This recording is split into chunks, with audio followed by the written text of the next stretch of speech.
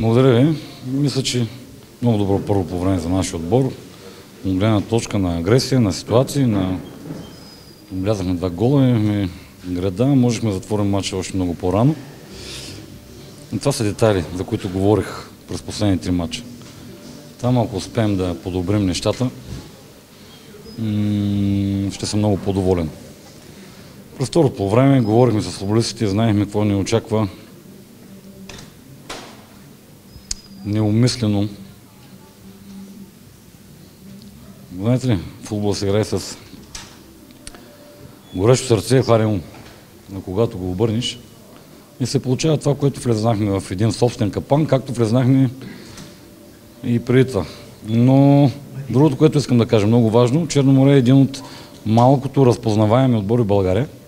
И това е благодарение на тяхния треньор. Когато гледаш един матч на Черно море, знаеш какво ще правят.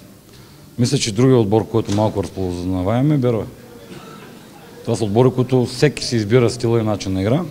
Така че съм много доволен, че успяхме днес да победим с игра, с агресия, с себераздание, с желание.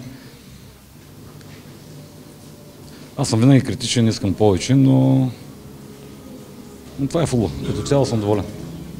Горещо сърце ли така изкара втория жълт картон на Сашо Василев? Горещо сърце и хладен ум се играе, а когато с гореща глава и хладно сърце, се изкара червен картон. Но е, това е двустранно. Видяхте после от другата страна. Когато допуснеш емоциите да завладеят, е, не е приятно. И трябва да се учим. Аз се опитвам да се разграничавам от тези неща, да гледам чисто аналитично върху мача. И така, че не искам да коментирам. Пуснахте две от малите момчета, доволни сте от тяхното включване? Вижте, да ви го кажа така. Имам доста момчета, не само тези, които тренират с нас, които имат качества. Но все още никой не е готов да поеме тежестта на първи отбор. Разговаряме с, разговаряме с спортния директор. Една от идеите на собствениците и на спортния директор е от до година да има задължително така, да се дава игрово време на младите момчета. Защото само с мачовете могат да придобият нужното самочувствие и да, да изразяват себе си. А това, че ги пуснахме в игра, няма да крия, защото на скамейката нямаме хора.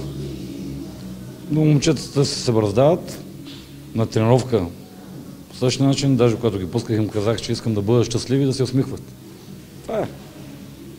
Може ли да констатираме, че има градеж в представянето на Берое, независимо и поражението от ССК, това, което коментирахте и след мача на българска армия, като че ли в плейофите Берое показва корено различно лице от, да кажем, заключителните мачове от редовния сезон. Говорили сме на тази тема. Да, от, както започнаха плейофите, аз съм така доволен от а, начина на игра на отбора и в Разград. И срещу Ботев тук, мисля, че не играхме. Ботев. Срещу ЦСК на армията. И днеска. Днеска не съм доволен, имахме проблеми малко в изнасянето на топката. Но това е разбираемо. Двама нови централни защитници, хора, които за първ път играят заедно ротации постоянно в нашия отбор, които са продуктивни от това, че скамейката не е къса. Но аз не съм човек, който се оплаква, защото работим всички заедно. Но днес съм много доволен от желанието, себераздаването, агресията, която в началото така не беше проблем в средата на терена. И вече няма, Берова няма как да играе по друг начин, след като година и половина съм тук, аз екипа ми и във всяка една тренировка набиваме едно и също на момчета главата. Позициониране, притежание, реакция. Видя ли сте, че Берой може да се справя без някои от ключовите си футболисти, като Мартин Камбуров, да кажем? Вижте, Камбуров е футболист, който е доказал себе си. Той е полезен за нашия отбор а, и е много силен в наказателното поле. Днеска без Камбуров имахме така една ротация, една скорост в предни позиции, но пък а, тези ситуации, които ги създавахме, трудно ги завършихме. Мисля, че още през първото градата на Минчев, положението на Педро, две ситуации на Мешка. Пак ще се повторя. Това е детайл. Има. Кой е вероятността да им него и Никита в следващия матч? Първо ще анализирам доста добре Лески и тогава ще взема най-доброто за отбора, за да отидем да се забавляваме да играем футбол. Много ваши колеги коментират съдейството след такова. Стара Загора бите ли го коментирали? Защото знам, че по принцип не коментирате сега, но все пак. Ще се изразя така. Виждам, че е модерно последно време в България да коментираме субективни фактори. Аз го казах и на пресконференция Българска арма. А, не съм достатъчно голям, за да коментирам фактор, който не зависи от мен. Мога да коментирам фактори, които зависят от мен.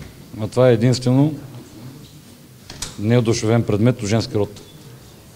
Този фактор мога да коментирам. Благодаря, колега.